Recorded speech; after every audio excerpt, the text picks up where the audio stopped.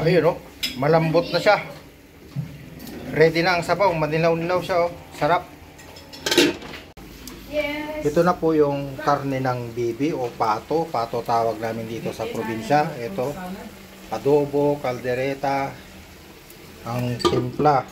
So, yan. Manual lang sa ang pagluto niya oh. Sinaing sa kahoy. I'm walking alone, the streets are empty.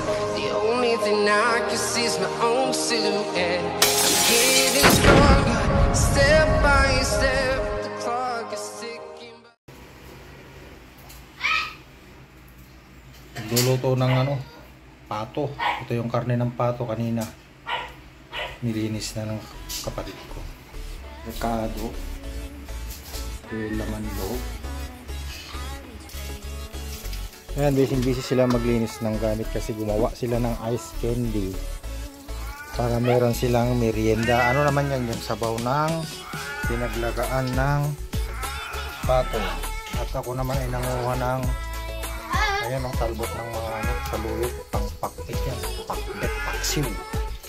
At ito naman si maingay na muning. Oh, ano, ano, ano, ano balita? Maingay ka ha? Hmm? Dito tayo sa may mga alaga ng pamangking ko. Yung baboy niyang malaki, saka yung mga biik na ng pambenta. Dito yung pinakalikod. Malapit sa pispan.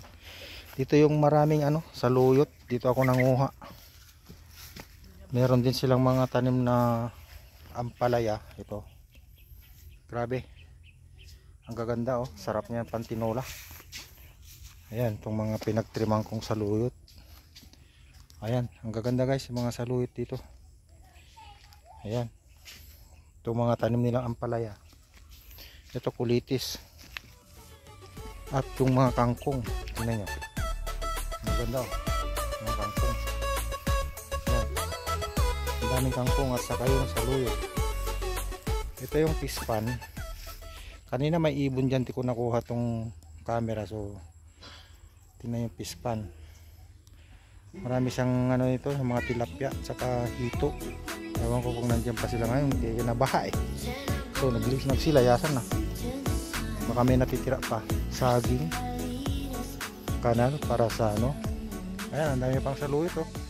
Meron din doong ano, Chinese bamboo. Mga bukas siguro kami magulam ng labong. Papakuha ko. Ayan si Mader, nangunguha pala ng labong. Hindi naman niya sinasabi. Dapat naka-vlog. Kasi nagsunog siya ng basura. Ito. Ayun oh, sayang oh, tinumba ng bagyo yung Chinese bamboo. Ang ganda pa naman ng kawayan. Ang ganda ng kawayan oh. Pasingan yan eh. Pasingan. Yan, ang sarap. Ito yung mga alaga na manok. Yan, dito siya nagbi-breed ang pamangkin ko. Yan ang buhay probinsya. Ito guys, kita nyo dito sa likod ng bahay. Yan yung tinumba ng bagyo. So, meron din diyang fish pan. Maano na siya, madamo. Dati dito kami naglalaro ng mga bata. Bata pa ako.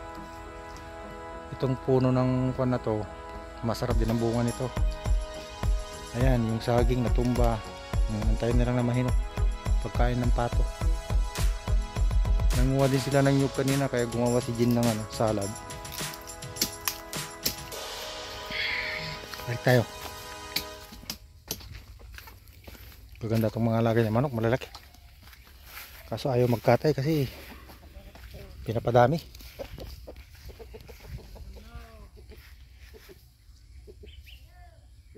Ay, sora dito. Tabi kami ng iglesion. Yan. Ito, manawa ka ng bunga ng kalamansi. Ang daming kalamansi. Sobrang dami ng kalamansi. Ayan o. Oh, grabe ang bunga. Kita nyo yung bunga. Ayan o. Oh, dami. Saka mababa lang siya. kanina gumawa kami ng kilawin ng dilis dito lang nanguha ng bunga ng kalamansi. Puro kalamansi lang yung ano niya paasim. Kaya masarap. Meron pa dun sa freezer hindi namin inubos kasi masarap. Manamis namis pag kalamansi kasi. Kaysa yung suka. Suka pinambababad lang yun. Tapos habang nililinis para hindi siya masyadong bilasa. Yung kamote ito paubos na kasi halos sinaraw-araw ko yung talbos niya eh. Ayun nakala mo ibon mga yun oh manok. Tingnan nyo yung talbos ng kamote wala na ubos na. Yun saluyot pa rin yun ang dami oh. matataas na. Doon nanguha ko ng bunga ng sili kanina. I pipikal ko yun tapos ibalik ko sa Maynila. Para mayroon akong gagamitin doon yung avocado tira-tira ng bagyo. Ayan guys yan ang kaganapan dito kasi hindi kami lumayas ngayon dahil pahinga. Natulog maghapon. Ayun kalamansi pa yun. Bayabas na native. Lumaki na. Maliit lang ito noon. Tapos dito maraming ano pandan. Maliit lang ito na pandan dati. Hindi na dayo dito sila nangunguha. Ngayon malaki na. Ang dami na oh. hanggang dun sa irrigation na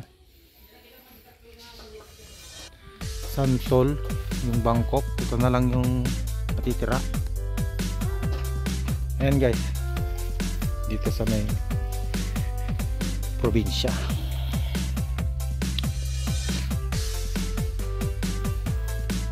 Siya na. Gala-gala ko na lang kayo. Ayan natsura dito.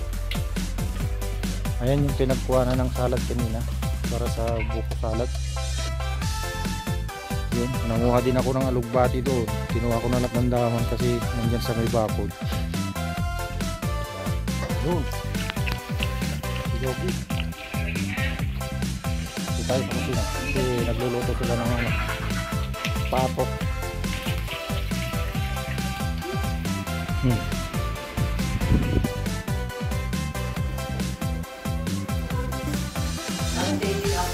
press press press from the water talong papakwet ang sarap guys. Maliliit siya. Ang sarap. Ihalo namin ito ng lechong kawali. Ayan. Ito guys. Ito yung mga bunga ng tanim ng kapatid ko. Ito yung mga tanim ng kapatid ko dito. So makita nyo naman. Paubos. Nauubos na namin lahat ng mga ano dito tanim. Yung saluyot marami marami dyan sa back garden doon. Doon sa malayo doon. Sa back garden doon. Mala, marami doon. Tapos yung mga sitaw dyan meron pa. Ang dami, ang daming gulay. Yung patola niya na tanim nagiba na kasi nung baha. Wala na eh. Pero yung sili doon sa si mga sili doon marami. Kukuha ako ko sa Maynila.